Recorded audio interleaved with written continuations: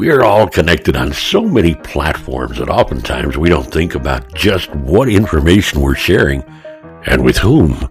In another video, I showed you how to hide your likes on Facebook, which prompted a great question from a viewer. Rod1148 said, Thank you, but now that I've done these things, how can I test it to see if I've done it correctly? Well, you know what, Rod?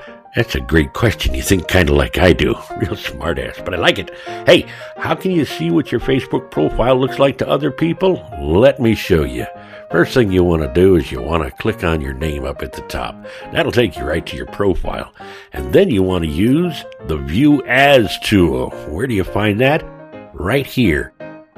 You click on these three dots, and then it'll say View As.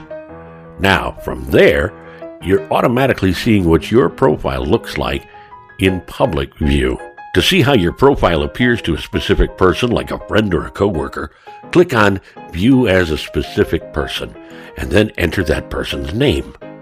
Please keep in mind that posts and photos that you've hidden on your timeline are still visible to the audience that they're shared with on other places.